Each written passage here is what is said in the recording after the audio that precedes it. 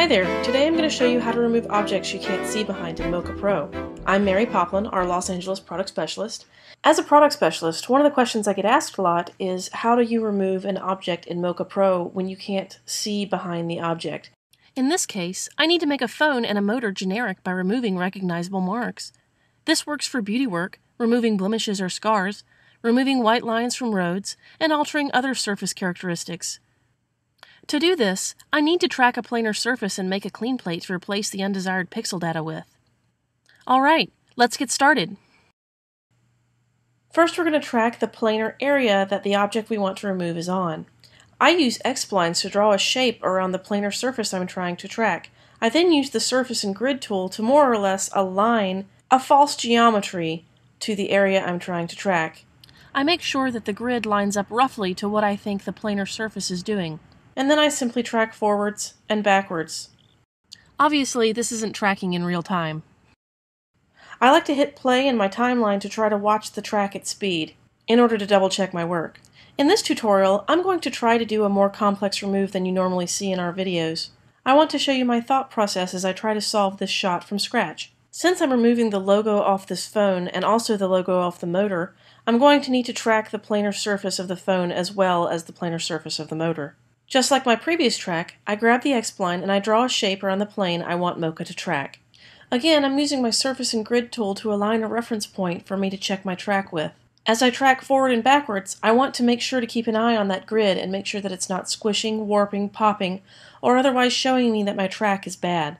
I can see with my phone here that I'm going to have to go ahead and adjust the X-spline in order to avoid the fingers and other parts of the hand that are throwing my track off. So I'm quickly going to adjust those and then retrack my surface. A neat trick for tracking and rotoscoping is to hit the stabilize button at the top of the Mocha view screen.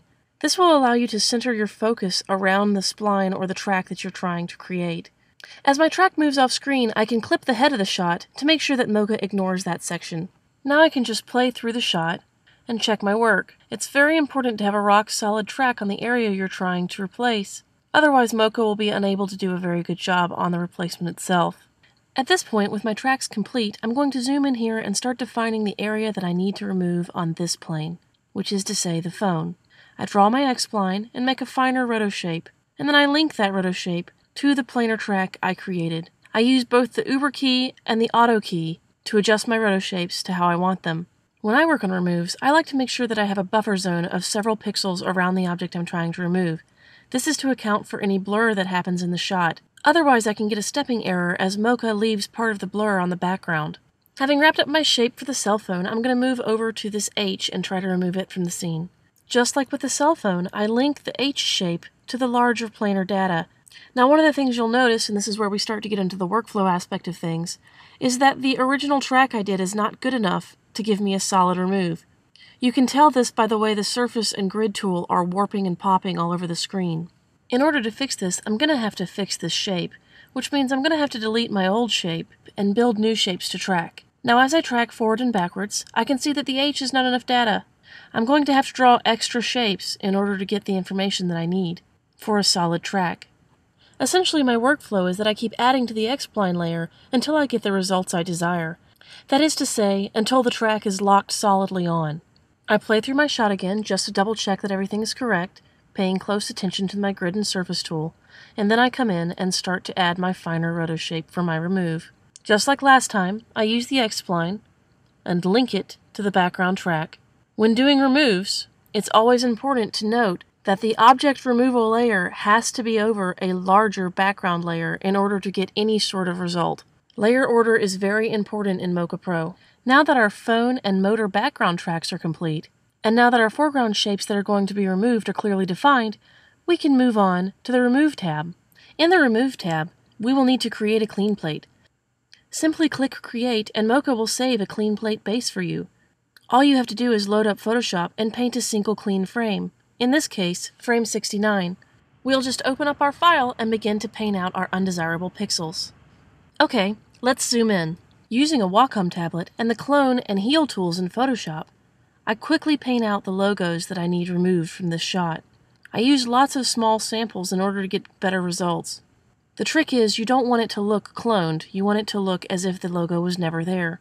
You may have to work with varying opacities in order to get good results. I cannot stress enough how awesome the Heal tool is in Adobe Photoshop. In general, I'd like to point out how useful it is to paint with a tablet. I find that using a tablet pen can increase my speed in both rotoscoping and painting. When I was first learning how to use a pen, it was hard to break the mouse habit. But then I realized that painting with a mouse is about as useful as painting with a brick. I usually do all of my finishing on clean plates and other matte paintings with the Heal tool in order to make everything blend properly. Once your clean plate is complete, simply save it and go back to Mocha Pro. Mocha will remember your clean plate and what frame you took it from. In shots where I've only painted one clean plate, I like to make sure I use the linear illumination model to make sure that my lighting is correct throughout the scene. Using the zoom tool, I'm just going to move in here and check my render. In my test render here, I can see that there's a hard edge on the shape I was trying to remove. I can fix this by adding a softness in edge width. This should get rid of any hard edge artifacts that I had in my shot. Moving on to my phone remove, I'm going to turn my mattes off and do a test render. Well, it would help if I loaded a clean plate clip. So what I need to do is I need to import the clean plate that I made for my other layer. Or I can use the clean plate that I used to remove the H. But I want to show you guys how to import a clean plate. I simply open it up, and put it back in at the frame I took it from, in this case, frame 69, and then I do a test render. And just like on my other remove, I'm going to zoom in here to check my work. I'm going to turn illumination modeling on for this as well, since the phone is tilting slightly and subtly throughout the shot. I'm pretty happy with the way both of my test renders are looking, so now I'm going to move on to trying to render them both at once. This is pretty easy just so long as the gears are checked on, so that Mocha's remove module knows to remove those layers. As I get towards the head of the shot, though, I'm going to have to stop rendering my phone, as that will mess up my dual renders. To do that, I just pause my render and turn the gear off for the foreground phone layer. I then play through my scene to double check my work. And that is how you remove objects in Mocha that you can't see behind. Alright, recap time. I'm going to talk a little bit about what we did while I show you a before and after. So essentially, the steps we take for removing an object you can't see behind are track a background layer, rotoscope a foreground layer, click on the Remove tab, create a clean plate, and clean up that clean plate in Photoshop. And then render using Mocha Pro's Remove tool. I hope this tutorial has been helpful for you, and please let us know if you have any questions. Please visit us on our website, www.imagineersystems.com, or check out our blog. We also have a forum if you have any questions and a Facebook page slash Imagineer Systems, and a Twitter page at Imagineer System. I hope you enjoyed this tutorial, and have a great day.